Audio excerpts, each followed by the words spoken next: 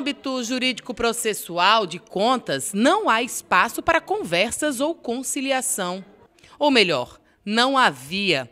O perfil mais pragmático de atuação proporcionou durante anos processos morosos.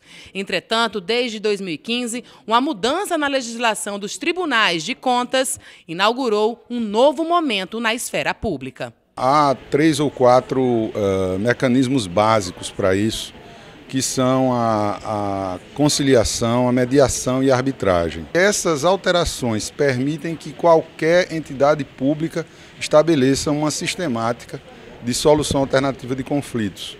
Então, eu acho que isso é um avanço, é, inclusive para a criação de uma mentalidade é, favorável a essas, a essas práticas, porque no Brasil a gente é muito, a gente segue muito o modelo adversarial. Desde a faculdade, o estudante de direito ele é, ele é treinado para briga. Ele é treinado para diante de qualquer coisa, não, vamos entrar com ação, vamos litigar.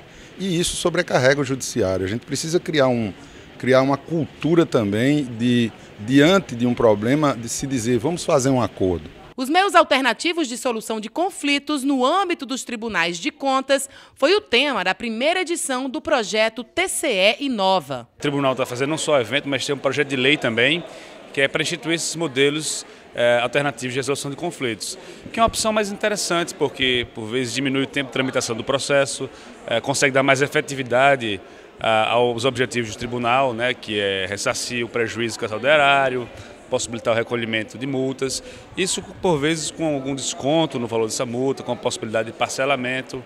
O que a gente vê hoje é essa possibilidade então de ter outras decisões é, do, da própria Tribunal de Contas construídas em consenso com o próprio é, controlado administrado. O evento aconteceu na manhã desta sexta-feira na sede do TCRN e reuniu servidores, jurisdicionados, assessores e procuradores. Eles acompanharam a palestra sobre a utilização desses novos mecanismos na resolução de conflitos oriundos das Cortes de Contas do Brasil. Vamos debater com a presença do ministro Marcelo Navarro Ribeiro Dantas e do juiz Eduardo Dantas e esperamos que com a participação da sociedade potiguar, dos gestores, o tribunal possa ter é, esse entendimento, possa avançar nesse sentido, em que esta proposta de conciliação de transação administrativa possa ser uma realidade em nosso Estado.